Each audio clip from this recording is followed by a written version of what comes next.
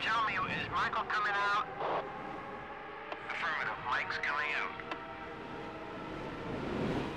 Don't forget, we, we drove together on this team, uh, Michael and I, for four years we competed against each other. You, to have that much fun with your son is, is a rare privilege. It was very, very, very special.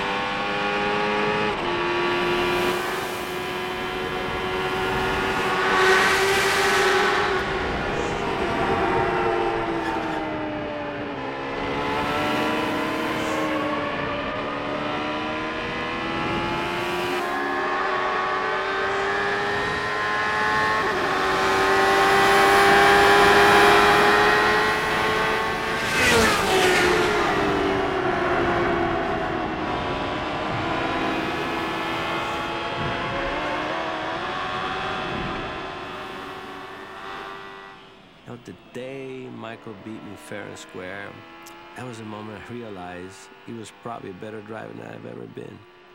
It was a bittersweet moment for me.